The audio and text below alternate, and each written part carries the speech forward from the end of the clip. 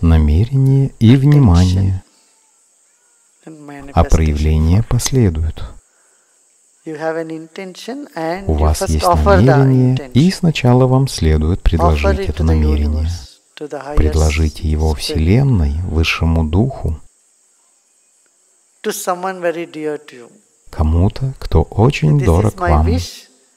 Вот такое мое желание. Это могут быть родители или предки, ваши личные ангелы или боги, или богини, или гуру. Предложите кому-либо ваше настоящее намерение, а затем имейте терпение. Знайте, что это исполнится.